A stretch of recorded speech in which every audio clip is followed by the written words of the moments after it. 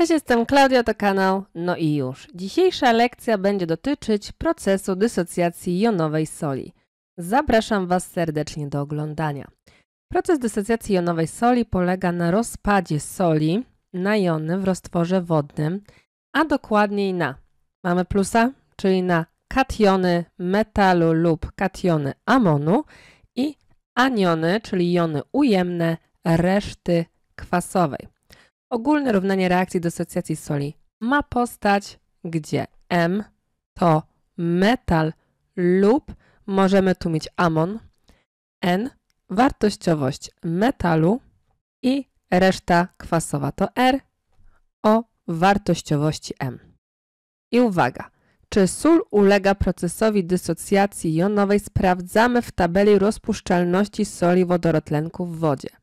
Tam szukamy oznaczenia R jak rozpuszczalny w wodzie, bo dysocjacja jest to rozpad pod wpływem wody.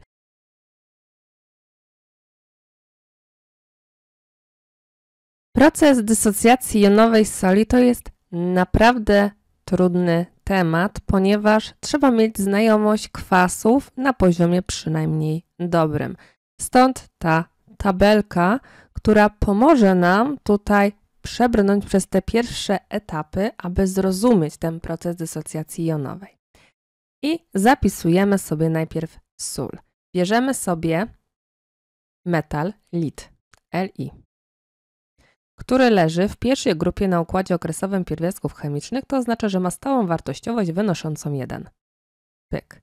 Teraz chlor, C, L. I chlorek ma wartościowość 1. Hop. Czyli mamy tutaj H2O. Metal to kation, czyli jon dodatni o ilości plusów równej wartościowości. Plus plus Cl minus. Teraz magnez. Mg, który już należy do drugiej grupy, to oznacza, że ma stałą wartościowość wynoszącą 2. Chlorek Cl. Chlor w chlorkach ma wartościowość 1, czyli dwójka idzie nam tu. H2O. I mamy Mg 2 plus, bo wartościowość wynosi 2. Dodać, tą dwójkę wyrzucamy naprzód i mamy C, L minus. Chlorek glinu.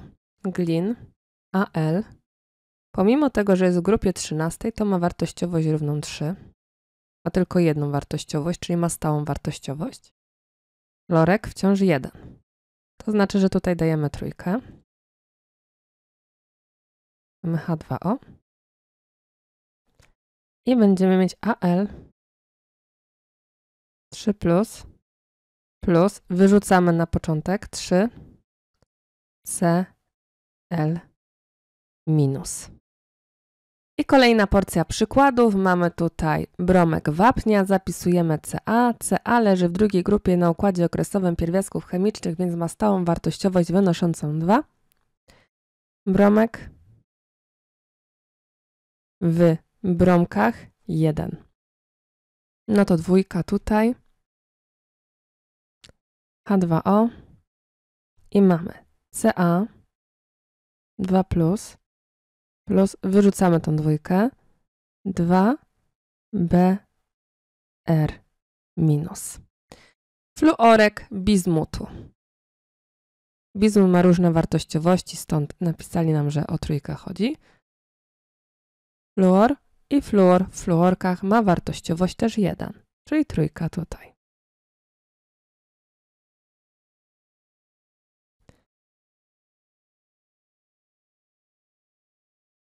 I teraz jodek amonu.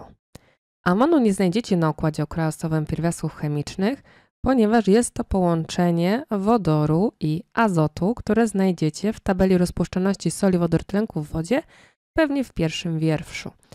Jest to NH4 i całość ma wartościowość 1. J w jodkach 1.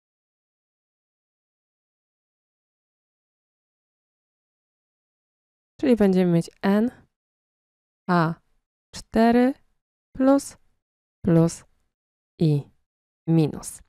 Teraz jest pytanie, dlaczego my tak właściwie wyrzucamy te indeksy, te cyferki, które mamy na dole? Ponieważ reszta kwasowa nie zawiera tych cyferek. Spójrzmy. Brom to BR, nie BR2. Zostaje BR. FK to też nie F3, tylko jest po prostu F, więc tu musi być też F. I jak się domyślacie, z jodem jest dokładnie tak samo. I już trzy ostatnie przykłady, jeżeli chodzi o kwasy beztlenowe. Bierzemy sobie siarczek sodu, czyli Na. Sód leży w pierwszej grupie, wartościowość zatem 1. Siarka w siarczkach, wartościowość 2.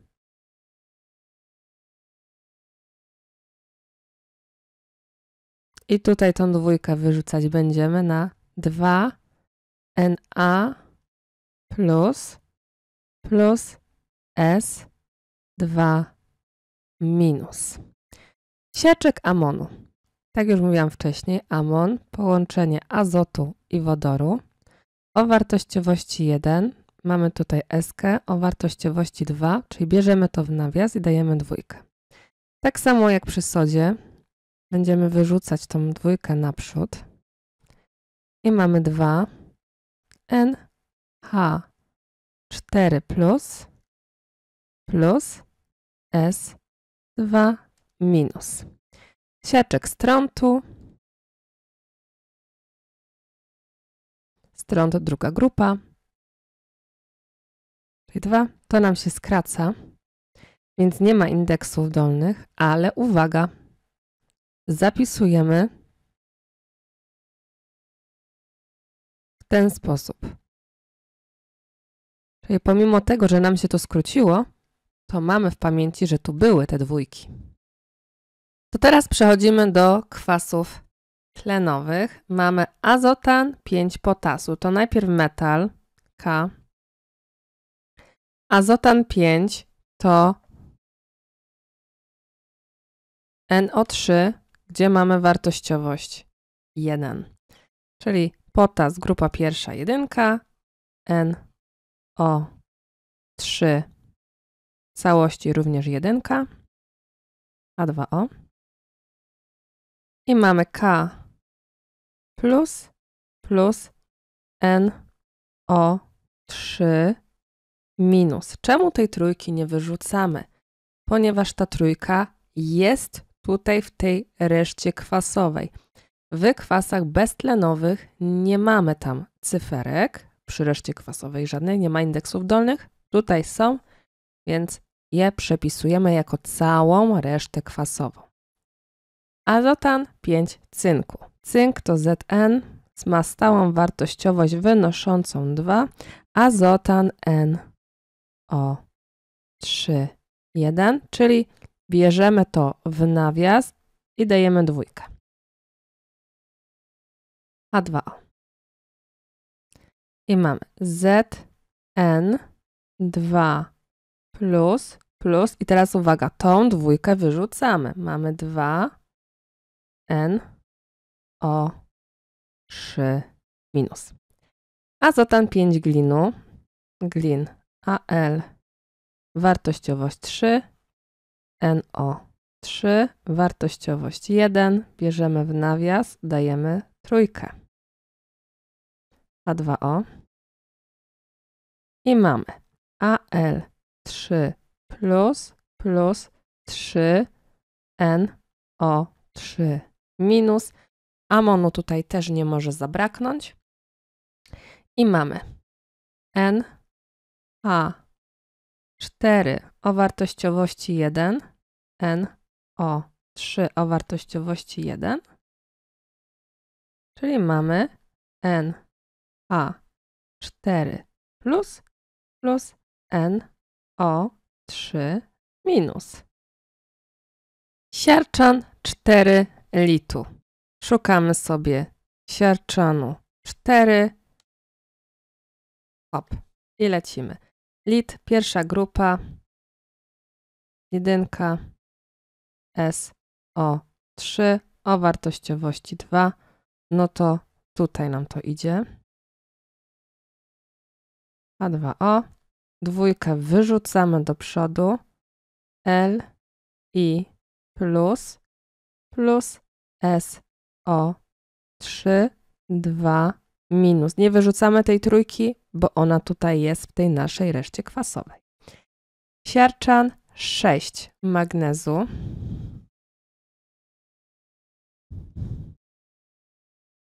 Teraz lecimy to. Magnez, grupa druga i SO4. Też wartościowość 2, one nam się skracają. A2O, ale pamiętamy o nich w procesie dysocjacji. Siarczan 6, żelaza 3. Żelazo 3 i siarczan 6. Czyli tu idzie dwójka. To jest jeden z najtrudniejszych przykładów. 3.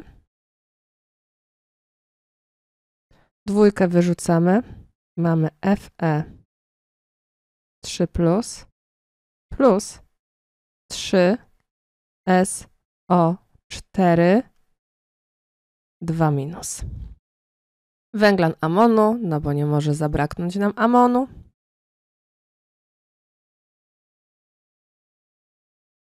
Mamy.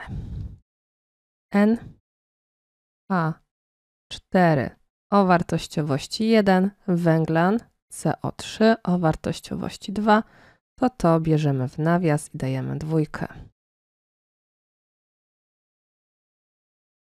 2 N A 4 plus plus CO3 2 minus.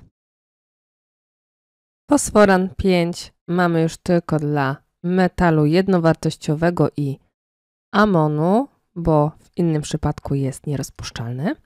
Więc zaczynamy sobie tutaj od zaznaczenia. Mamy fosforan 5, PO4 i trójka. Na PO4 to tu leci trójka. Wyrzucamy trójkę naprzód. I PO4 3 minus. Amon NH4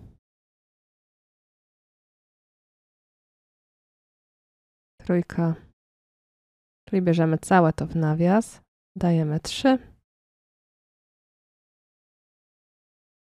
3 N A 4 plus plus P O 4 3 minus. Przed Wami przykłady dla Was z takim przykładem wiem więcej.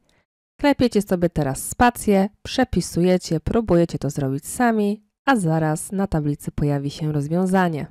I przed Wami rozwiązanie tego zadania. Tutaj tylko Wam przypomnę, że jak mamy dwie wartościowości, które są parzyste, to bierzemy większą wartościowość, dzielimy przez mniejszą wartościowość i wynik tego dzielenia zapisujemy przy pierwiastku o wartościowości mniejszej no to mamy 4 na 2 to 2. Dziękuję Wam serdecznie za uwagę. Zostawcie proszę suba. I no i już.